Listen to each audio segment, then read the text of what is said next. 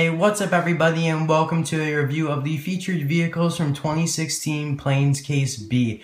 Now, this was supposed to be an actual case unboxing, but since Give Me Collectibles, who I buy my cases from, did not get this case, I decided to buy them off Amazon for $7.99 each.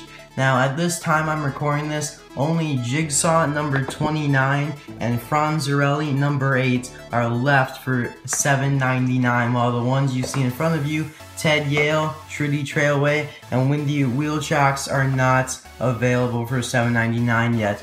Now, there also is another popular one in this case, Secretary of the Interior, but I did not purchase this one because uh, he was available on Amazon quite a few months ago I did review him I believe back in April. He was a part of a 3 pack for $20.99 so I bought that and so you could check that video out but I will show him briefly loose when we take a look at them loose. Now I did want to mention one thing about the Plane series. As you can see they have combined the series, uh, or combined both movies I should say, Planes and Planes Fire and Rescue, but what I am seeing right now is the they have basically Planes Fire and Rescue series and Planes series because none of these series cross over. For example, the Piston Peak series only has vehicles from the second movie and Nebraska Trial series only has vehicles from the first movie. Now, that is um, the I'm pretty sure that is what's going on for at least this time right now, but that may change in the future. But for example, the cars, they have the Tuner series, which has DJ Boost from the first movie, but from the second movie, they have Harumi and Suki and the other characters um, in that line. So I just wanted to let you guys know that, but they did kind of combine it so they all are in series now. And you may be confused if you did not watch my first 2016 Planes case, which was case A unboxing video, uh, because I said 2016 and it's well still in the 2015. 2016 is a few months away, but it's coming very uh, quickly. And uh, the reason for that is that retailers did not buy many of the 2015 cases for the planes. Instead, they, I don't know, they just didn't really buy many of them, so Mattel just went forward and started the 2016 line early on in late July, and now as people are finding these at Toys R Us and Walmart and probably Target in the next few days or maybe weeks, I'm not really sure. So I just wanted to let you guys know that I explained it a little bit more in the Case A video, so you can check that out uh, it'll be a card and in the description below. And one more off-topic thing before we get into the uh, review is that I did mention this in my Q&A, but the comments when I when someone comments on my video, I do not get notifications, and I actually contacted Collection TV, and he also is not getting emails either. So I thought it was just me, but it's not.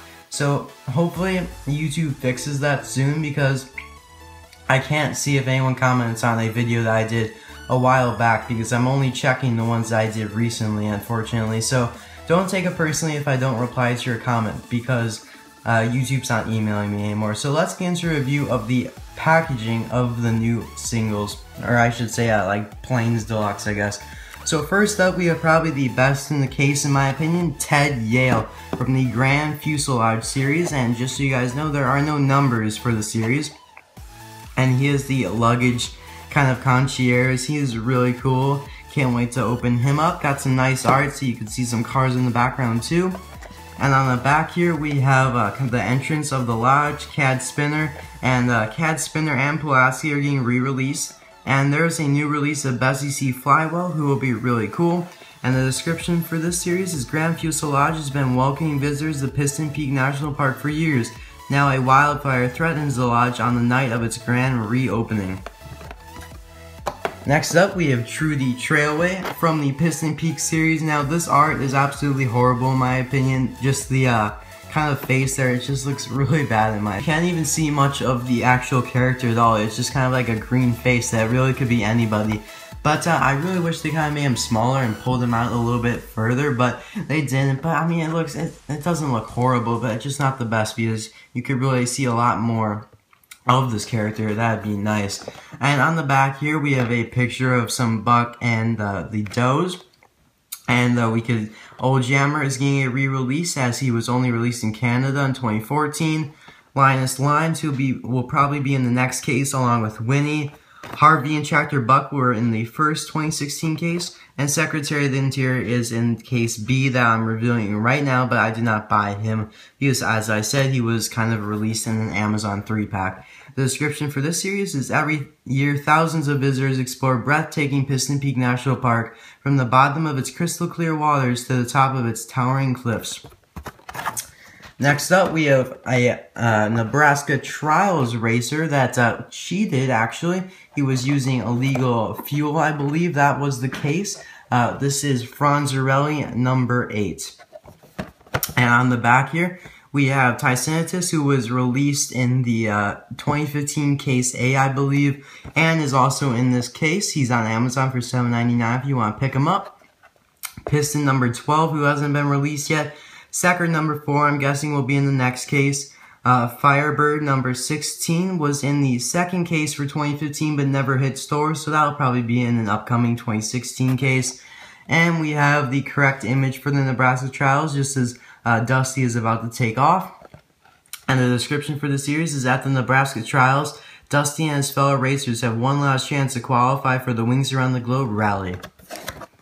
And next up, we have Jigsaw number 29. I love his art. It looks really cool in my opinion. From the USS Flysenhower series. Very cool. And on the back here, we could see Delta, who was in the first 2016 case, and along with Bravo. Jolly Wrenches Dusty, I believe, is in this case, but I'm not entirely sure, but he's been released many times before. And Falco, who was in this case as well for you could pick him up on Amazon for $7.99 right now. And just so you guys know for reference he was in the second case for 2015 that never hit stores. You could kind of see a picture of um, the USS Flysenhower deck. And the description is the USS Flysenhower is home to the Jolly Wrenches a squadron of brave fire plane fire brave fighter planes and crew members. Uh, pretty nice series. Got some new new releases out of that, but definitely not the most exciting. And we have a, a pretty cool series. I I think it's gonna be a great one called Cornfest. And this is Windy Wheel Chocks. And if you don't know what wheel chocks are, they are the wedges that keep the planes from moving. Um, so they're kind of like they go up against the wheels, the landing gear. And on the back we have refurbished Mayday, who is new after he kind of got the uh, whole new look to him.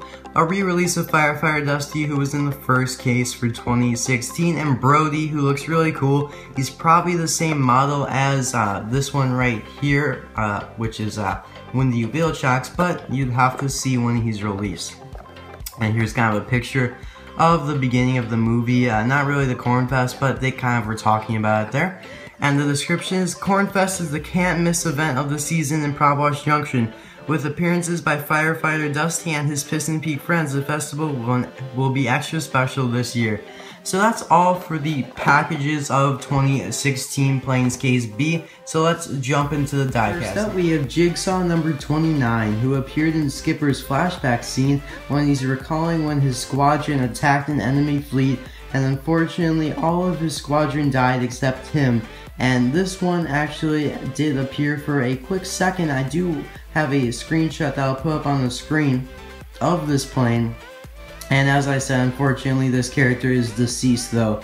And there's actually one that's coming up in a probably a future case. And I'm pretty sure his name is Lucas number 36. And this is what he looks like. And I did not do a video on this one yet, but I have showed him in some of my videos and submitted pictures to Take 5 a day and they made an article about it.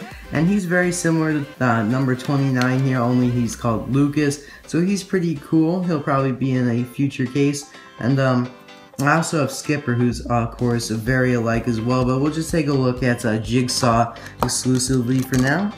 He's got kind of the Navy emblems on the side and on the wings there. VF-17 got kind of a white design, which Skipper nor uh, Lucas has that design on him. He also has the Jolly Wrenches, Jolly Wrenches logo on either side of kind of his engine here, which looks pretty cool. It looks a little bit different than the normal Jolly Wrenches logo. Actually, uh, it is the same. Uh, number Lucas has a little bit different though. And I believe Dusty has a little bit different as well. And uh, he's got number 25 on the landing gear right there the connector to the playset there. And um, nothing really else to him. He's got this kind of nice blue, light blue color to him along with the dark blue. So he looks pretty cool. Not my favorite though, probably my least favorite from this case actually. And we, just to compare him to number 36 here, not many differences, just a little bit. Obviously the expression's different and the navy emblems are a little bit different. They look pretty cool together. Uh, this is probably the only two of his squadron that'll actually get a release, but you know, you never know. I doubt they'll do more than two though. And uh, finally we have Skipper here just to compare. They are slightly different colors there. You can see Skipper's a lighter blue, probably because he's older and it's faded. You can see that there.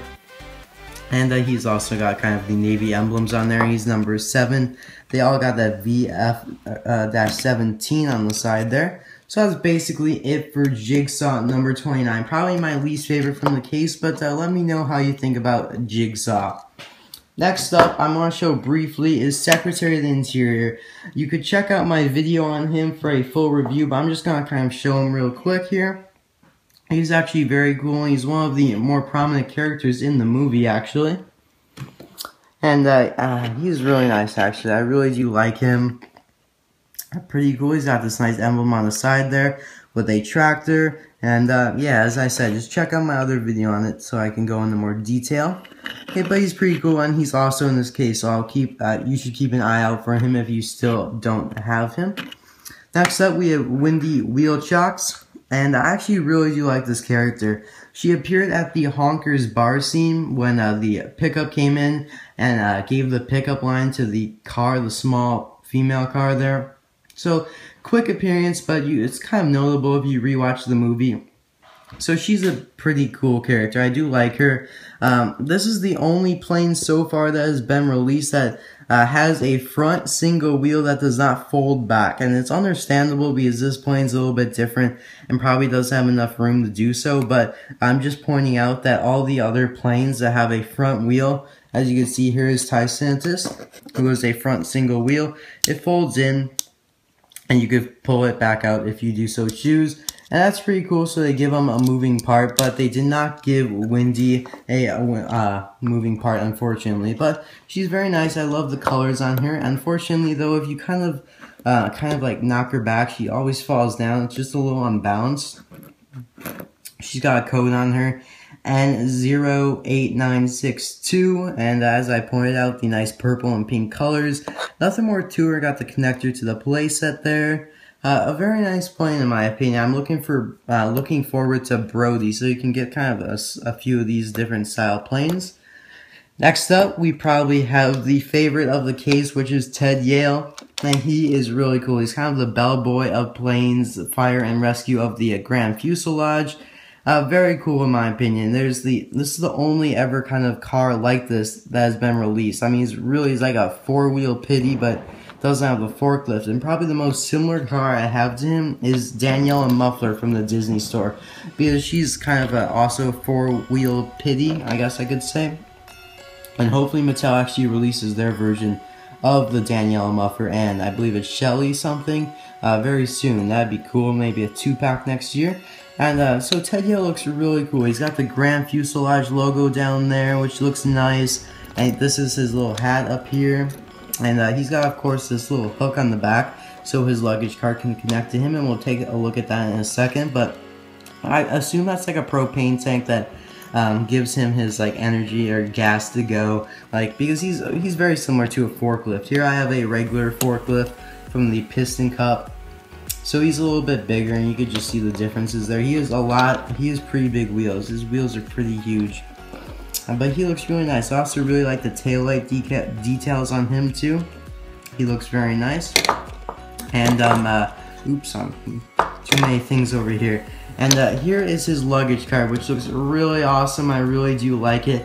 And um, these little bags up top here actually move. They kind of float around a little bit. And that's why I did not buy this one off eBay because most of them were missing these uh, luggage uh, cases up here. But they do move around, which is nice. And we have recently released Trent Kuroto, who has similar luggage to um, Ted Yale's cart as well. As you can see, the bags are a little bit similar, different color. very nice. I like that they're uh, releasing this luggage stuff a lot more. I like these accessories. They're very nice. So you can see kind of the similarities in uh, those. Obviously, it doesn't have these big circle containers, which most likely contain hats. I believe these are probably hat boxes or something. Uh, just, I'm not really entirely sure about what those would carry, but obviously this is just general luggage. And we also have Ludwig, who was released in 2014 with similar luggage as well, but obviously not as much.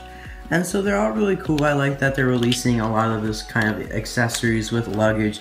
And he does kind of this hook on the back, so you could probably get multiple of these carts and hook them up because they do have this long um, hitch that you could attach. The only Ted unfortunately, I did try crate rinse and wash, but his hook bends over and like curls around, so you can't get this to like attach, like go through and kind of curl around like his hook does, unfortunately. So that's a little unfortunate, but I really do like that he kind of turns with the carts. Unfortunately, Acer with cart does not do that, but Trek Proto does. I like that. You know, it's nice, easy turn. So I really do like that. I just I can't express how much I like this model. He just looks really cool. I'm really happy to have him in my collection. He was first uh, previewed on the back of Mirror's box, near the train, and so now he's finally gotten a release. Up next, we have Franz Zarelli, who, as I said, was in the Nebraska trials and beat Dusty to the fifth or sixth spot, I believe. I think it was the fifth spot, just by like a point tenth or something of a second. And it actually was uh, found out later that he was using illegal oil or gas so he was disqualified and Dusty was uh, qualified into the world or the wings around the globe. So you can see he's number eight there. I just love his blue stripes. It looks really cool.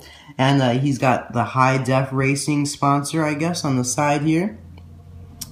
High def racing on the wing there too. I have to say this is probably one of my favorite racers of the wings around the globe and the Nebraska trials. I mean, just he looks very detailed and I'll get to his expression in a second, but we also have some minor sponsors on the side here, which too small for me to read. I believe one's for propellers and the one on the bottom there, I can't read them.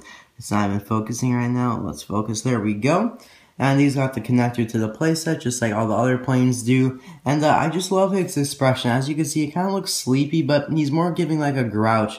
As you can kind of see, his uh, mouth is a little like jagged there. He's kind of like really annoyed. And unfortunately, I don't think he actually appeared this way in the movie, but most likely he was like this when he was disqualified from the Wings Around the Globe. So, definitely a nice release. I've been looking forward to this one as he was a pretty kind of prominent character in the movie. I mean, he um, definitely was a game changer for Dusty. So nice release of Franz Zarelli, but definitely not, uh, you know, probably not going to be too hard to find because he's just like a regular racer. And, uh, you know, it's the same version. I believe he is similar. I mean, actually, I believe this might be a new model. Nope, he is the same as LJH 86 Special here.